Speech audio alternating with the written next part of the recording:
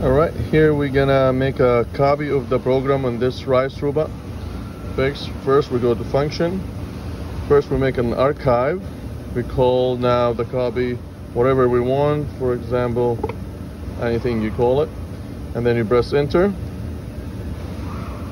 Backup created, and now you go F2 for write. And now it copy the same copy, archive I made to my USB.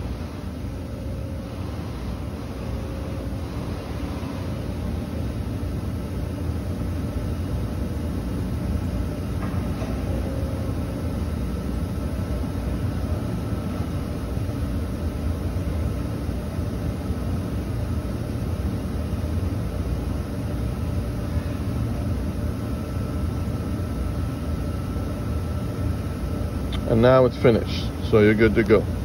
Uh, if you want to uh, download a archived copy or a backup copy that you have in your USB to the robot first you have to go to your USB which is on under directory drives select F3 for A A is your USB is gonna open your USB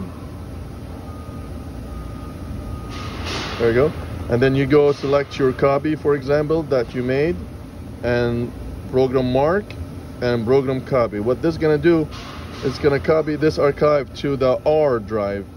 And then from the R drive you're gonna have to take it to the S. Now it's finished. So now if you go to uh, drives R your copy is here. You copy the program from here and then you copy it to S